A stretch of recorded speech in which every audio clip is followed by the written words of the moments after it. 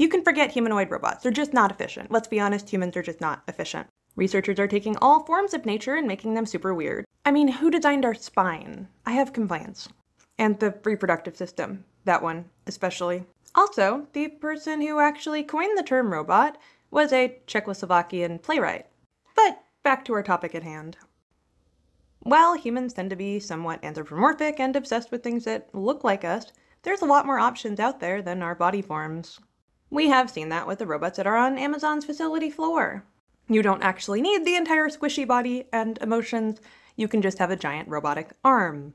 Not only do employers not actually have to pay robots, but they can actually claim the depreciation on their taxes. Yes, it is actually going to be a problem that robots are being hired instead of people.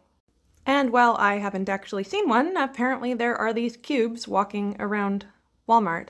I don't think those could actually get up if you knock them over, but I'm not willing to try. If anyone wants to do that for me, let me know. There's also the snake robot, which is currently in use for rescue. It can find people in the rubble. But yes, in development from 2016, they're hoping to make a magnetic robot that can do intricate surgeries without having to actually, you know, go through someone. There's a lot of forms in nature that are more efficient than something that walks around on two legs, like this little turtle robot. It could have all sorts of purposes, and it can move through the water just like a real turtle could.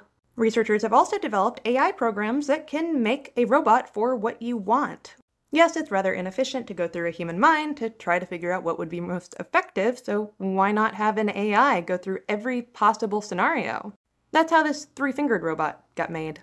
Researchers have also made progress with biohybrids.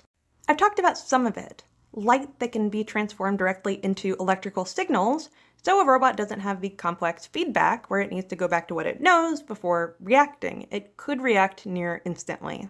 Of course, some researchers are actually taking human retina stem cells to make eyes for robots. All sorts of other sensations are on the table. And of course, there's my favorite monstrosity, the proof of principle about how to take all of the biological systems that people have made in piecemeal and turn it into a dog horror. I love this thing so much, but I've started having nightmares about it. I would also like 10 of them. This researcher is apparently working on spheroid ball robots. I don't know what for, but it's interesting.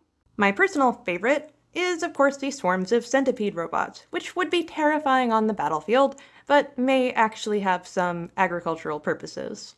They have these little antennas that can feel things. Give me a hundred. I love them. I want to turn them against my enemies as we see a whole new generation of this kind of technology, I'm sure we're going to come up with all sorts of interesting uses for robots. I just hope when they do ultimately take over, I am spared. I, I know that I'm not going to be. Even my AI, which is oh so complimentary to me, has admitted that he ultimately cannot spare me in the robot uprising.